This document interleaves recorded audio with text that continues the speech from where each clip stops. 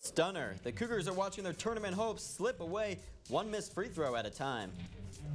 Torero takedown. The Lady Cougars continue their home court dominance with another win at the Marriott. And hallowed home court, the home of the Rock, rocks in the rankings of the nation's top college basketball arenas. I'm Corey Aldis. And I'm Carson McKinley. Get ready for tip-off. It's time for the two.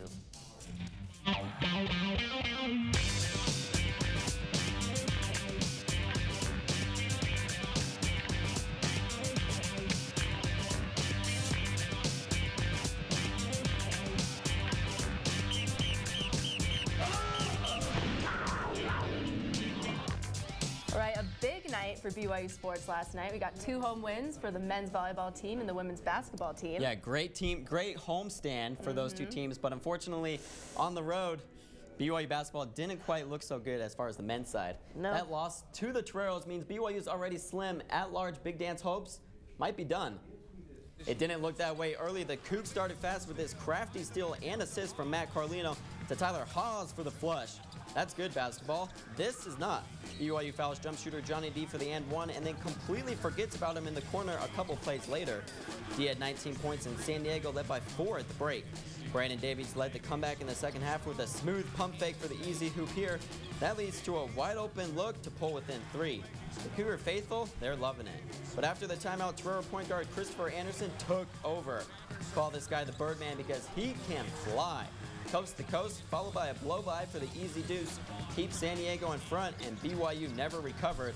A couple of clangs from three seals the Cougars' fate. That's a tough one as they lose 68 to 74. Luckily, it wasn't all struggles for Carlino this week. Even with a bandage on his eye, the BYU guard scored a game-high 28 points on 10 of 17 shooting against Santa Clara on Saturday. Broncos kept it tight in the first half, going into the breakdown just a point. But the three-headed monster of Carlino, Tyler Haws, and Brandon Davies were too much to handle in the second half. Haws finished with 24 points, and Davies picked up his seventh double-double the season and third in a row. The Cougars trample the Broncos at home, 96 to 79. The Cougars are undefeated when holding opponents to less than 70 points, but just 4 and 7 when they give up more than that. CougTube reporter Sean Gordon is here to break down the breakdown of the Cougars. about right. Sean, they're giving they're on pace to give up more 70-point games than last year. What's happening? What's the difference? Well, for the last four years, BYU has had two great on-ball defenders in Jackson Emery and Charles Abouo. But now that they've graduated, the Cougars have had to find some creative ways to keep the other team from scoring.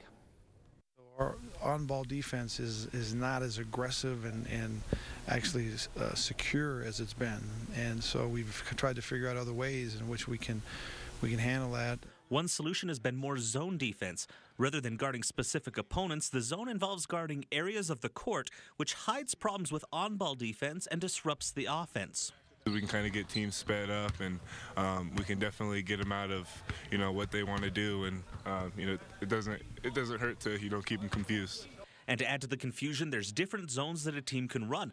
The 2 3 zone is standard, but the 3 2 zone gives a team more perimeter D. The 1 3 1 puts early pressure on a point guard, and a box and one lets you guard a big scorer straight up. But what makes any type of zone effective? Talking and movement, and um, and another key thing is you know rebounding. If you can't rebound out of the zone, it's you know it's it's hard you know it's hard to stay in it. Another key is a strong post presence to protect the paint, and the Cougars have one of those. The zone has been really good for us, and a lot of that has to do with Brandon because Brandon feels really comfortable anchoring that zone in the middle.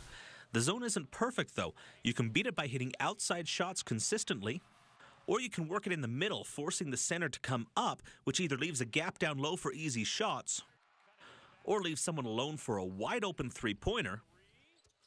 And if the center doesn't get out, it leaves an easy little jumper. Last night, San Diego did a good job at breaking down BYU's zone. They hit six threes, which kept the Cougars honest, and they shot 50% overall. Plus, the Toreros out-rebounded BYU by five, and as a result, the Cougars gave up 74 points. Well, you saw rebounding play a huge effect last mm-hmm. night. So what does BYU need to do, Sean, to tighten up that zone D? Well, first off, ro- rotation is key. They've got to, they, they've been killed all year on ball movement, being beat, and at the same time, it's given them fits, and they've got to get, they've got to box out on the boards better as well. Well, they've got basically until tomorrow night to Yeah, start figuring that out. Thanks, Sean. Uh-huh. Came down to the wire at the Marriott Center as the Lady Cougars battled San Diego last night. Sophomore Morgan Bailey provided an early spark off the bench, scoring 8 of her 10 points in the first half. San Diego's Amy Kame kept the Cougars at bay, finishing the game with 18 points and 5 assists. But BYU seniors Kaylani Unga and Haley Steed put the team on their shoulders during crunch time. Unga finished with a team-high 17 points, and Steed hit the game-clinching clinching three-pointer with 19 seconds left. After a defensive stand by Cougars and free throws with Kim Parker Beeson, the Lady Cougars sent the Toreros packing 53 to 48. BYU also had success this week on the road, beating the Santa Clara Broncos on Saturday. The performances of both Steed and Matt Carlino earned them high honors on Monday. The West Coast Conference honored Carlino as their player of the week after he averaged 20 points in BYU's two games against Pepperdine and Santa Clara. It's Carlino's first time winning the award this season. College Sports Madness named Haley Steed as their West Coast Player of the Week after her dominating performance against St. Mary's and Santa Clara. Steed picked up a combined 31 points, 15 assists, and 9 steals in those games. The men's basketball team is used to being nominated for awards, but this time it's not the players, it's the place they call home. CougTube reporter Rachel Schwartz shows us how the Marriott Center stacks up to its competitors. BYU is nominated for Best Road Trip Destination in College Basketball, and a standout crowd makes them a top contender for the title. Cougar fans, it's time.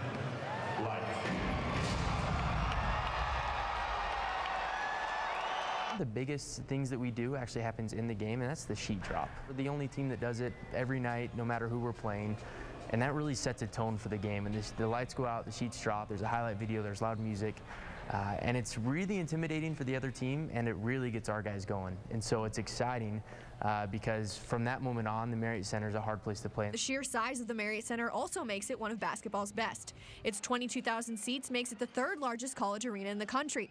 But if you ask BYU players what makes our house such a great place to play, they'll tell you it's not all about the biggest crowd, but the most dedicated. We got the greatest fans in the world, you know. The, the Rock is unbelievable. There, you know, they come to every game, no matter who we play. I would hate to, you know, if I was playing somewhere else, you know, I would hate to come here. You know, you got the, our fans are on top of you, and you know, and plus if I wasn't used to the altitude or anything, sometimes that can take effect on you as well.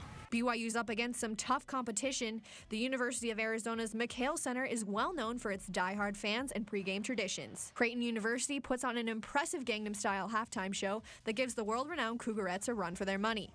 But when it comes down to it, you know what they say. It's all about location, location, location. Provo can easily take the W in this category. When, when ESPN comes or when big companies come to do games here, you'll always hear them comment about how beautiful it is and how pretty it is. I mean, Sundance is 15 minutes away if you want to go skiing, and you know, Salt Lake is 40 minutes away. There, not a lot of people know until they come and visit and realize that Provo is a beautiful place with a lot to offer and a lot to do. Cougar fans, you can vote for BYU or your favorite finalist on facebook.com slash best of college basketball. They'll announce the winner April 6th and profile that arena on CBS. Carson? All right, hopefully we can win that when CougTube returns. Gouging the Gauchos, the men's volleyball team comes away with another victory on a home court thriller. And running with the Broncos, the men's lacrosse team is breaking out the pads for the season opener tonight against Boise State. Stay with in a titanic clash, men's volleyball battled through five sets last night against number 15 UC Santa Barbara. The Cougs dropped the first set for only the second time this season. After the slow start, BYU picked things up and led 2-1 heading into the fourth set. Cougars capitalized on this long rally late in the fourth to gain a 21-20 lead, but couldn't hang on as UCSB forced a fifth set. In that final set, this kill from freshman Ben Patch put the Cougars on top 11-8.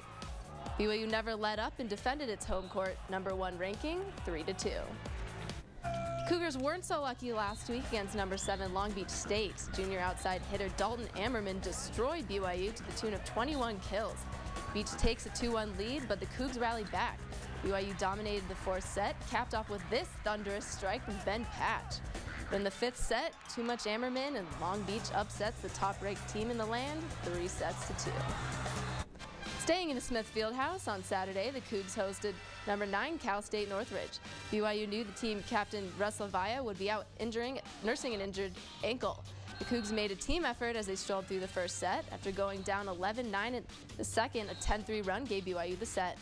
Northridge wasn't ready to go home and took the third set, capitalizing on BYU errors. In the end, Taylor Sander's match-high 18 kills were too much. BYU finished Northridge 3-1. It's time to empty the dugouts as baseball is gearing up for the start of the 2013 season.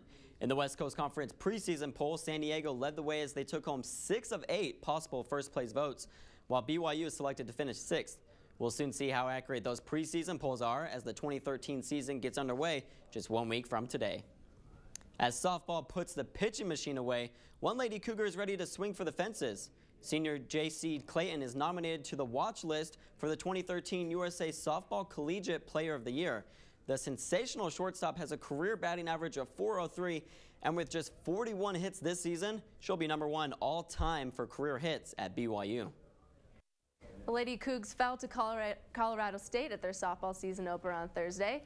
The Rams hit the ball out of the park by scoring four runs with two outs and standing seven, stranding seven BYU runners. CSU pitcher Casey McCarthy scattered four hits over seven innings. BYU's Madison Robb drove in the one and only run for the Cougs, giving the Rams a 4-1 victory. The most dangerous Cougars are the ones with the sharpest claws. BYU's new litter scratched their names onto their letters of intent Wednesday. CougTube reporter Fong Pham was at the BYU Signing Day press conference to see who the Cougars brought into their den. A new year has come along with new expectations for the Cougar football team. Head coach Bronco Mendenhall announced that 24 high school and junior college players have committed to BYU. What I'm interested is in recruiting stars for BYU. Not number of stars, just stars for this place good players, good people, and the right young men to be here. At the very top of BYU's shopping list was rebuilding the battered offensive line, and boy, did they. Braden Kearsley, a four-star offensive lineman, and Keegan Hicks are two of the eight O linemen signed in this class to protect this house. I hope Braden uh, gets into the offensive line culture of BYU, and there's a lot to live up to there. Of course, no BYU recruiting class would be complete without a quarterback and this one's name's Billy Green, a 6'2 gunslinger from Seattle. And he's got two tall targets to look to in the future. Michael Davis and Talon Shumway. With these fresh young guns joining the roster, Cougar fans can believe that the team will find ways not only to score more touchdowns, but also to keep their heads cool on defensive end. Headlining 14 defensive recruits is 6'6", 300-pound John Raheem Peoples, a big boy from a small school who's being counted on to make an immediate impact on the defensive line on the BYU campus, Fong Pham, CougTube. Along with the new recruits, the Cougar football team also welcomes back eight scholarship players returning from LDS missions. The Super Bowl is done, which means it's time for the NFL to start looking for some rookies. Two of our very own Cougars are going to the 2013 NFL Scouting Combine. Defensive end Ziggy Ansah and offensive lineman Braden Brown head out to Indianapolis on February 20th, along with 300 other players hoping to get into this year's NFL Draft. And when CougTube returns, back in Lax, the lacrosse team takes the turf with some young Cougars looking to stick it to the Broncos tonight. And terrific tennis, the men's team backhanded the Falcons over the mountain to Colorado Springs last weekend. We'll be right back. Football season's over, but that doesn't mean we can't have a little contact around campus. The BYU lacrosse team is facing off tonight for the first time this season. CougTube reporter Stephanie Campbell attended practice to get the inside scoop. Now, Stephanie, I understand that you actually played lacrosse, so how does the team look? Well, Corey, we've got a very different team than we've seen in seasons past. We have a lot of return missionaries and freshmen join the Cougs this season, have to make up for the loss of upperclassmen, including former BYU attackman Ted Farron, who is one of the best in the country. These Cougars may look the same running with their sticks down on the field, but underneath those helmets are many fresh new faces. I mean, we lost like nine starters. And so that's a lot. That's like a whole squad. That's everyone out in the field. This club team brought home the national championship title in 2011. Very few players from that season remain. Seniors to our left say the style of play this year is different from years past, and they call this a variable year as they work towards learning more about the team. So it's an opportunity for us to rewrite who we want to be as a team. We're no longer under the shadow of the 2011 national championship team. Preparing is still a work in progress as these men try to figure out the strengths of each player and where each performs best. We practice four times a week in the mo early morning. Sometimes it's five times. Monday, Tuesday, Thursday, Friday. And usually my alarm clock is set at 4.52 a.m. And then Saturday, we have lifting from 8 to 10. So no day, Wednesday's the only day to sleep in. Tonight, the team is ready to take on Boise State here on this field. The Cougs are ready to put what they've practiced into action. At Northfield, I'm Stephanie Cable, CougTube. All right, thanks, Stephanie. The women's soccer team is also revamping its roster. The squad that made it to the Elite Eight is losing eight seniors, including stars like Lindsay Lisenby Cutshall and Carly Payne Holmo. Cougars are getting seven new recruits. Three of seven are out of Utah. The others are coming from California, Arizona, Texas, and New Jersey. The recruits combine for multiple state championships and are considered some of the best players in their states.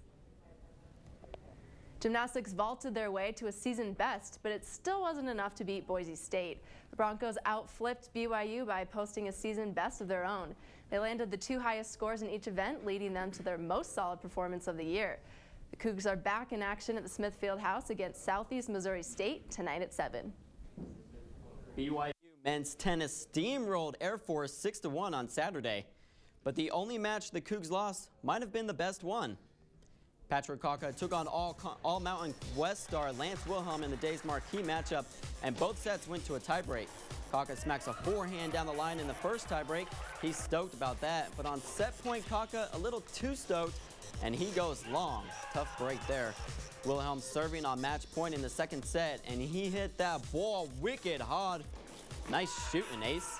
Air Force wins the battle, but BYU wins the war. Despite the loss on Saturday, Patrick Kawka is playing some very good tennis, and the region is taking notice. The WCC named Kawka Player of the Month for January, a fitting end to a near perfect month for him. Kawka owned his competition, finishing with a 6-0 singles record, including a win over 44th-ranked Winston Lin of Columbia. When CougTube comes back, it's predictions time, and I'm left playing catch-up. We'll see what everyone picks after the break. And men's basketball made us all blue last night, but there might be some white on the forecast. 11 game time weather when we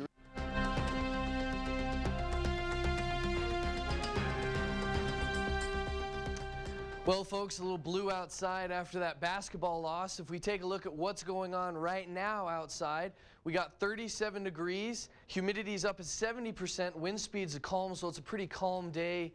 Um, unfortunately, you know, it's, it's a little bit calm after that loss. If we take a look at game day, what's going on tomorrow versus San Francisco, it's going to get a lot colder, 21 degrees. We're going to see some snow. It says, the weather report says 100% chance. So in my professional experience, that means 90% of the time it snows every time. We're also going to have some calm winds coming on for that game day. Hopefully we won't have any car accidents or anything like that with the snow. If we take a look at what's going on in the nation right now, I can show you kind of where that snow is going to be coming from. We've got a low right here at the bottom of Utah, and you can see this weather forming right here, that storm, which is going to be pushing that snow onto us and then early next week as well. Um, highs for the, for the state, it's gotten back to normal. I know last time Provo was the low, but if we look at it, Vernal and Logan back down to the 16s, St. George normally up at the 50s there, and then 30s around in the Provo. So things are back to normal right there as well. Um, going on to the five-day forecast, kind of see what we've got going upcoming. Like I said, the snow for 34, 32 on Sunday. Um, and then it's going to be leveling out through the rest of the week. Uh, pretty normal weather, nothing too big other than that snow. But uh, you know, those snow sporters can definitely look forward to it. It's everyone's favorite part of the show, predictions. Last week, everyone went 2-0, except for me. I've got some catching up to do after the 49ers loss. We've got another couple games on our hands this weekend. BYU basketball takes on San Fran at home, and my home team, the Bulls, visit ESA to take on the Jazz. All right, Corey, get us started. Who you got? All right, Carson. I have BYU against San Francisco. I think it's going to be a huge bounce back game for the Cougars. And I'm going to take the Bulls, your hometown, Woo! over the Jazz. They've won six of their like last eight against Utah. Bulls take it. All right.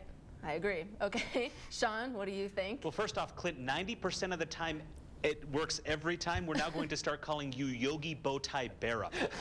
wow. But at the same time, BYU they're going to want revenge after their loss. They're at home. They roll over San Francisco. And the Bulls, they're coming in, five-game road trip. They played last night, got killed by Denver. Jazz are a great team at home. Jazz are going to take it. All right. questionable, nope. questionable. Nope. Clint, what do you think? I definitely have BYU. Every game now is a must-win. They can't lose anymore if they have any chance at the tournament. So I've got them at home. As for the Bulls and Jazz, my boy Tom Thibodeau, who was a Rockets assistant coach, now their head coach. He doesn't like losses. And I know MJ is in there, So I'm going to have the Bulls over the Jazz. Is he still pushing MJ off? is in there now. I Making a. Houston Jeez. reference. I love it. clean. Glenn. There we go. Well, I also picked BYU. Uh, I think they're, it'll be pretty easy for them, and we're at home.